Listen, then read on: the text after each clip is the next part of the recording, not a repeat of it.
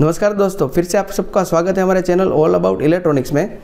आज के इस वीडियो में मैं आपको दिखाने वाला हूँ कि नोवाटोन कंपनी का न्यू लिंक प्रो जो प्रोग्रामर होता है, उसको ऑफलाइन मोड में कैसे यूज़ किया जाता है।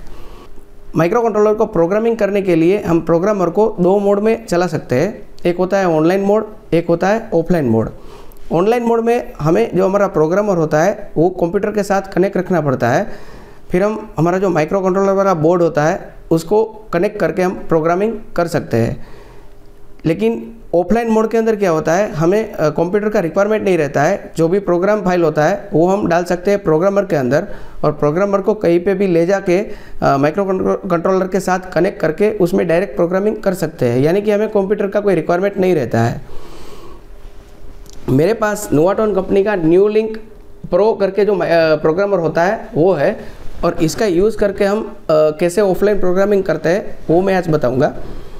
ऑफलाइन प्रोग्रामिंग करने के लिए दो तीन मेथड होता है एसडी कार्ड यूएसबी और एस पी फ्लैश आज के इस वीडियो में हम जो प्रोग्रामर होता है उसके मेमोरी के अंदर हेक्सफाइल डाल के उसका कैसे यूज़ कर सकते हैं वो बताऊँगा।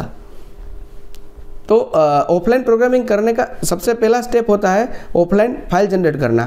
तो चलिए देख लेते हैं कैसे ऑफलाइन फ़ाइल जनरेट होता है। तो दोस्तों देखिए, मैंने यहाँ पे Novatone new micro ICP programming tool को ओपन कर लिया है। अभी देखिए, यहाँ पे मेरा जो प्रोग्रामर है वो कनेक्ट नहीं किया है तो ये डिसकनेक्टेड दिखा रहा है। सबसे पहला स्टेप हम क्या करेंगे कि हमारा जो प्रोग्रामर है उसको कनेक्ट करेंगे कंप्यूटर के साथ। तो मैं ये कनेक्ट कर लेता हूँ। ये मैंने कनेक्ट कर लिया, अभी यहाँ से मैं कनेक्ट प्रेस कर लेता हूँ। तो ये देखिए ये कनेक्ट हो गया। जहाँ पे जाके आपको आपका जो हेक्स फ़ाइल है, वो सिलेक्ट कर लेना है। मैंने यहाँ से मेरा हेक्स फ़ाइल को सिलेक्ट कर लिया है। नेक्स्ट स्टेप है आपको कॉन्फ़िगरेशन बीट में जाना है सेटिंग के अंदर। और जो भी आपका जो चिप है, वो चिप का सेटिंग ओपन करके पहले चिप को सिलेक्ट कर लेना है। और फिर इसके अंदर जो भी आपका चिप सेटिंग करना है, वो आपको कर लेना है और ओके कर देना है।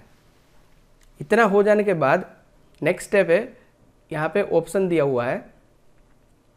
ये ऑप्शन के ऊपर आप क्लिक करोगे तो आपको ये विंडो देखने को मिल जाएगा। यहाँ पे जो ये टिक मार्क दिया हुआ है कि भाई ये जो स्टेप्स फॉलो करता है प्रोग्रामिंग के लिए, वो है, हम यहाँ से मैंने यहाँ पे ऑफलाइन प्रोग्रामिंग है, उसको सिलेक्ट कर लिया है।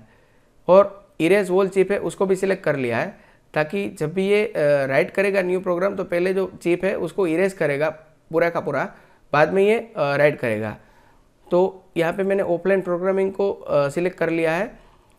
यहाँ पे ऑफलाइन प्रोग्रामिंग के लिए दो तीन ऑप्शन दिया हुआ है। जैसे कि आप उसको जो फ़ाइल है ऑफलाइन का उसको पासवर्ड प्रोटेक्टेड रखना चाहते हो तो ये भी आप यहाँ से कर सकते हो।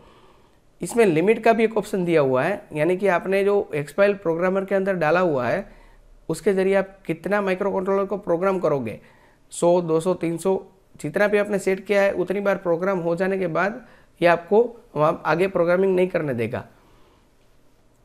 मैंने अभी कुछ सिलेक्ट नहीं किया तो ये अनलिमिटेड प्रोग्रामिंग मोड में है। अभी ये ऑटो प्रोग्रामिंग मोड क्या है कि आपको जैसे ही आपका सर्किट के साथ ये कनेक्ट होगा, इसका जो पिन है इंटरफेस का, उसके ज़रिए तो ये तुरंत प्रोग्राम को ट्रांसफ़र कर देगा माइक्रो कंट्रोलर के अंदर। तो उसके लिए मैंने यहाँ पे ऑटो प्रोग्रामिंग सिलेक्ट करके रखा है, और इसका जो आईओ वोल्टेज है, वो बाय डिफ़ॉल्ट अभी 3.3 वोल्ट है। अगर मैं मेरा जो बोर्ड है उसके साथ कनेक्ट करूँगा तो फिर आ, मैं यहाँ से सेट कर पाऊँगा जो भी मुझे वोल्टेज रखना है लेकिन अभी डिफ़ॉल्ट 3.3 वोल्ट दिया हुआ है। इसको हम ओके कर लेते हैं। इतना होने के बाद खाली हमें स्टार्ट बटन को प्रेस करना है। ये वार्निंग बॉक्स आएगा। वो सारा जो हमने सिलेक्ट किया हुआ है वो सब उसमें दिखा रहा है। अभी हम उसको ओके कर देंगे।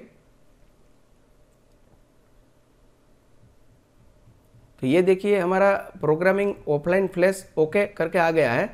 यानी कि हमारा जो ऑफलाइन प्रोग्रामिंग फ्लैश है, वो जनरेट हो गया है। अभी वो जनरेट है या फिर वो क्या है, वो मैच करना है तो इसके लिए भी इसमें ऑप्शन दिया हुआ है। ये जो फ़ाइल डेटा दिखा रहा है, वो हमारा हेक्स फ़ाइल जो मैंने लोड किया है, उसका दिखा रहा है। अगर मैं ऑफलाइन फ्लैश के अंदर जाऊँगा तो उसके अंदर भी ये डेटा दिखाएगा। यानी कि ऑफलाइन जो फ्लैश है, उसके अंदर क्या पड़ा हुआ है, वो भी इसमें दिखा रहा है। और यहाँ पे लिख के आ रहा है फ़ाइल मैच यानी कि जो हमारा एक्स फ़ाइल है, उसके साथ ये जो ऑफलाइन फ़ाइल है, वो मैच कर रहा है। अभी मैं यहाँ फ़ाइल मैच के ऊपर क्लिक करूँगा तो भी दिखाएगा ये the message so that this piece of binary data from device is match with the corresponding file data ठीक है? तो ये ऑफलाइन फ़ाइल मेरा प्रोग्रामर के अंदर स्टोर हो गया है। अभी मुझे खाली क्या करना है? जो भी मेरा माइक्रो कंट्रोलर है, उसका जो प्रोग्रामिंग का पिन है, उसके साथ मेरा जो प्रोग्रामर है, उसका पिन कनेक्ट करूँगा। तो डायरेक्टली प्रोग्राम उसमें शिफ्ट हो जाएगा। यहाँ पे एक इन्फो का टेप दिया हुआ है। उसके ऊपर क्लिक करके आपने कितनी बार प्रोग्राम का ट्राई किया है, कितनी बार आपका फेल हुआ है, आपने जितनी बार ट्राई किया वो सक्सेस हुआ तो यहाँ पे आ जाएगा। आपने जो भी सेटिंग रखा है, वो सेटिंग भी यहाँ पे डिस्प्ले करेगा। तो यहाँ से आप देख सकते हो कितनी बार प्रोग्रामिंग वगैरह हुआ है। जब भी आप ये प्रोग्रामर को वापस कनेक्ट करोगे इसके साथ तो ये डेटा यहाँ से फेच कर लेगा। नेक्स्ट स्टेप हमारा है बस कनेक्ट करना है हमें माइक्रो कंट्रोलर के साथ। और वो वहाँ पे जो फ़ाइल है, उसको प्रोग्राम कर देगा माइक्रो कंट्रोलर के अंदर। तो देखिए दोस्तों, मैंने यहाँ पे एक सर्किट ले लिया है, जो कि नोवाटोन कंट्रोलर इसमें लगाया हुआ है। तो उसका जो प्रोग्रामिंग का पिन है, वो यहाँ पे दिया हुआ है। और मैंने जो ये प्रोग्रामर है, उसके अंदर ऑफलाइन फ़ाइल फ़ाइल है, उसको लोड कर दिया है। इसका एसपीआई जो फ्लैश है, उसके अंदर जो ऑफलाइन फ़ाइल है, उसको लोड कर दिया है। और मैं यहाँ इस टाइप का एक कनेक्टर यूज़ कर रहा हूँ प्रोग्रामिंग करने के लिए। अब ये कनेक्टर को मैं इसमें कनेक्ट कर देता हूँ। ये कनेक्टर को कनेक्ट कर दिया। अभी इसमें मैं कोई अलग से पावर सप्लाई नहीं दूँगा। ये जो बोर्ड है, उसको मैंने पावर सप्लाई दिया हुआ है। इसके साथ जैसे ही मैं ये अटैच करूँगा तो इसको भी पावर मिल जाएगा और ये एक्टिव हो जाएगा। बाद में यहाँ पे एक बटन दिया हुआ है। वो बटन को मुझे प्रेस करना है। और प्रेस करते ही इसके अंदर प्रोग्राम चला जाएगा। तो देख लेते हैं क्या होता है।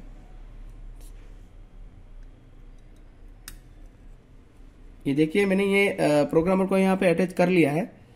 यहाँ पे जो बटन है, उसको मैं प्रेस कर रहा हूँ। ये देखिए प्रोग्राम इस सर्किट में चला गया है। उसका जो एलईडी है, वो ब्लिंक कर रहा है।